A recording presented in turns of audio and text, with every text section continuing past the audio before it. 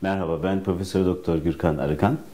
Ee, 1964 doğumluyum. Ee, Avusturya ve Almanya'da ihtisas ve mesleki faaliyetlerden sonra, 20 senelik bir faaliyetten sonra 2 senedir Türkiye'de çalışmaktayım.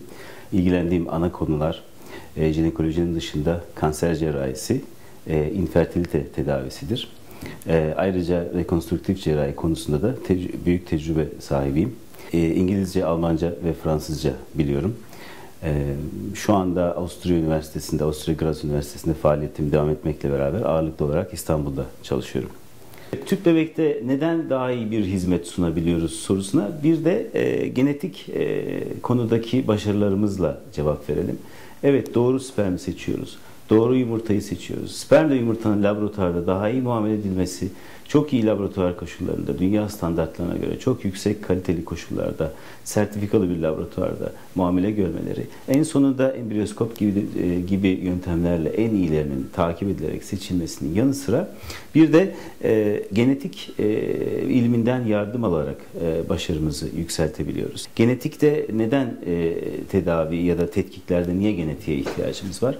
E, öncelikle tekrarlayan başarısızlıkları olan çiftlerde ki bizim özellikle yurt dışından aldığımız hastalarda çoğu kez böyle bir önde e, birkaç deneme vardır, başarısızlıklarla sonuçlanmıştır. Bu hastalarda veya ileri yaş veya sık sık düşük yapan kişilerde veya ailesinde genetik sorunlar olduğunu bildiğimiz kişilerde, embriyolarda da bu tür veya daha ağır genetik sorunlar olduğunu biliyoruz. E, embriyolardan 3. günde veya 5. günde bir hücrenin alınması yoluyla e, bu embriyonun genlerinin araştırılması ve doğru embriyonun seçilerek rahim içerisine konulması tabii ki e, başarı oranlarımıza etki ediyor. Sağlıklı bebeklerin, e, sağlıklı hamileliklerin oluşmasına büyük fayda sağlıyor. Kullandığımız e, klasik yöntemlerden bir tanesi sitogenetik e, araştırma, karyotipi dediğimiz araştırmadır. Bununla çok sayıda genetik sorun e, bulunamaz genom düzeyinde, çok düşük düzeyde, çok küçük e, gen düzeyinde e, olan patolojiler e, bugün e, Array Comparative Genomic Hybridization dediğimiz CGH yöntemiyle araştırılmaktadır. Burada bir embriyodan bir hücre alınmasını görmektesiniz. Bu aşağı yukarı 3. günde uygulanmakta olan bir biyopsi. Bunu artık 5. günde de uygulayabiliyoruz. Orada birkaç hücre alabiliyoruz. Daha net sonuçlar elde edebiliyoruz.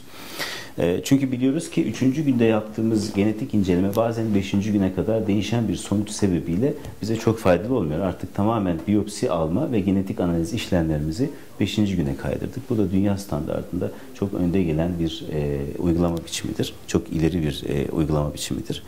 Biz şimdi e, genomik hibridizasyon yöntemini uygulayarak e, çok küçük gen düzeyinde olan patolojide ses, patolojileri de tespit edebiliyoruz.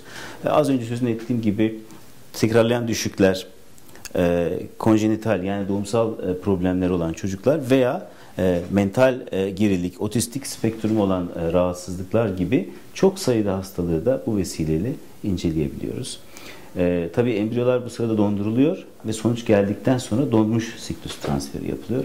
E, bu açıdan da laboratuvarın e, hücre dondurma ve donmuş siklus e, konusunda çok başarılı olması çok önemli bir e, yer tutuyor. E, tekrarlayan tüp bebek başarısızlıklarında e, ikinci denemeden sonra e, hem anne adayının hem baba adayının daha detaylı testlerden geçirilmesi gereklidir. Sayısız denemeleri ard arda sıralamak yerine ee, özellikle anne adayında rahim içerisinde bir patoloji var mıdır? Polip, miyom vesaire gibi bir sorunu var mıdır? Ee, onun dışında endokrinolojik bir başka bir sorunu var mıdır? Tiroid rahatsızlıkları, şeker hastalığı vesaire veya pıhtılaşma e, sisteminde bir sorun var mıdır? Dikkatli incelenmesi. İmmünolojik açıdan bir sorunu var mıdır? İncelenmesi ve bunların önceden tedavi edilmesi makuldür. Ayrıca erkeklerde de e, ilk sperm analizinde fazla bir patoloji görülmemekle beraber bu e, spermlerde de DNA kırıklarının tespit edilmesi halinde buna yönelik tedaviler uygulanması, spermin daha seçilmesi, tekrarlayan 3. 4. denemenin daha başarılı olmasını sağlayacaktır. Detaylı inceleme yapmadan e, sayısız denemeleri ard arda sıralamak çok makul değildir.